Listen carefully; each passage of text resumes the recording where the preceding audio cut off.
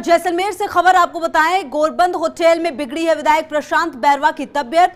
जवाहिर चिकित्सालय लाया गया विधायक को। मंत्री साले मोहम्मद भवर सिंह लेकर पहुँचे अस्पताल। विधायक की करवाई जा रही है सोनोग्राफी। और लक्ष्मण हमारे सहयोगी, ज़्यादा जानकारी के लिए हमारे साथ इसी खबर पर। लक्ष्मण, क्या कुछ अपडेट मिल पा रही है? तबियत कैसी है? क्या जानकारी?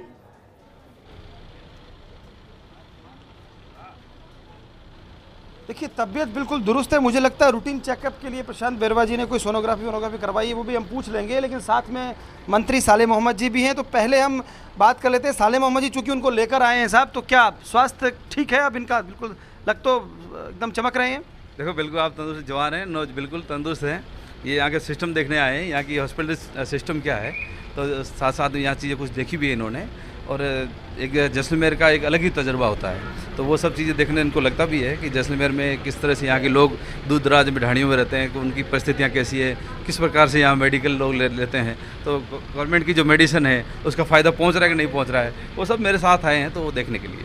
हॉस्पिटल देखने के लिए, लेकिन कहा यह भी जा रहा है कि सोनोग्राफी भी आपने करवाई है। कितना सही है, मीडिया में खबर है, उस पर आपसे प्रतिक्रिया लेंगे। और देखिए, सियासी सोनोग्राफी भी कहीं ना कहीं चल रही है। तो प्रशांत बैरवा, क्या कहते हैं, क्या तबीयत बिल्कुल दुरुस्त है? और एक ये बात भी लगातार कही जा रही है कि जो दूसरे लोग हैं, दूसरा गुट कहिएगा, बागी कहिएगा, वहाँ पर भी अभी ये कहा जा रहा है, कल बयान आया विवेक बंसल जी का कि घर आ जाएँ तो कोई दिक्कत नहीं है। उसके बाद भी कुछ इस तरह के बयान लगातार आ रहे हैं। आप क्या कहते हैं?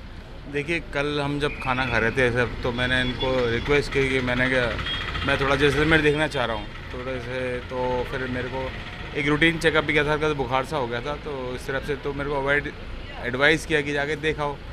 तो ये अभी इनके मेहमान मान लीजिए है, इनके सानिध्य में तो शुरू से ये एनर्जेटिक रहे तो इसलिए मन करके आने का।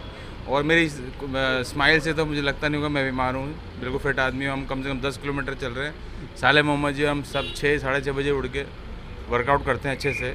और एक यहाँ का बड़ा एक क्या बोलते हैं जो लगाव था मैं मैं सारे ज़िले घूमे हैं मैंने पूरे राजस्थान की। मैं कहता हूँ सतीश पूनिया जी से भी ज़्यादा मैंने घूमे हुए हैं उन्होंने अभी देखा नहीं है पहली बार वही विधायक बने मैं भी बनाऊँ मैंने सारे ज़िले देखे हैं मगर एक बाढ़ में और जैसलमेर की कमी रह गई थी तो मैं इस कमी को दूर करना सचिन पायलट जी किससे भी ज़्यादा घूमे क्या?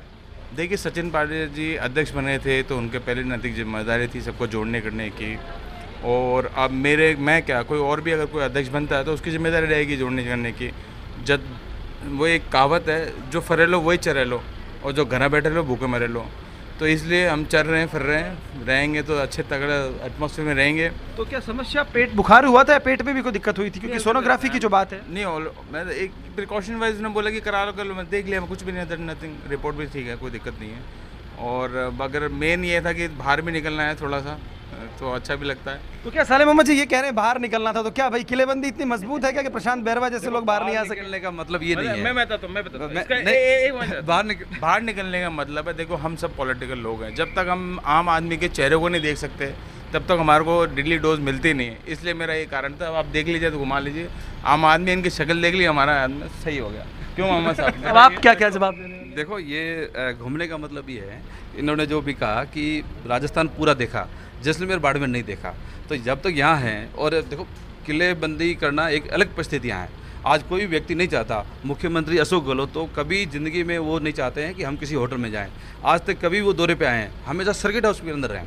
बाहर कभी फाइव स्टार के एक छोटी होटल में नहीं गए हैं। जिस आदमी की ये सोचो, आज जिस प्रकार से षड्यंत्र होते हैं षड्यंत्रों की वजह से हम लोग किलों में बैठे हैं। आज हम चाहते हैं हमारी जनता के बीच रहें उनके आज काम करें उनके सुख दुख में काम आए आज गाँव में पानी बिजली की समस्या उनका हल करें। पर ऐसी परिस्थितियाँ बना दी हैं कि जिस प्रकार से विधायकों के आप मोल कर रहे हो आज करोड़ों रुपए के बोलियाँ बोल रहे हो तो हम किले मंदिर नहीं बैठेंगे तो कहाँ बैठेंगे? तौर पर भाजपा की चलते ये हालत है। बिल्कुल हंड्रेड परसेंट जो लोग पीछे षड़यंत्र दिल्ली और जयपुर में बड़े बड़े ऐसी रूम में बैठकर षड्यंत्र रच रहे हैं, आज राजस्थान की जनता उनकी वजह से परेशान हो रही है। आज यदि वो चाहते, देखो किसी भी सरकार को पाँच साल का जनता विनियन देती है तो पाँच साल वो जनता का काम करे।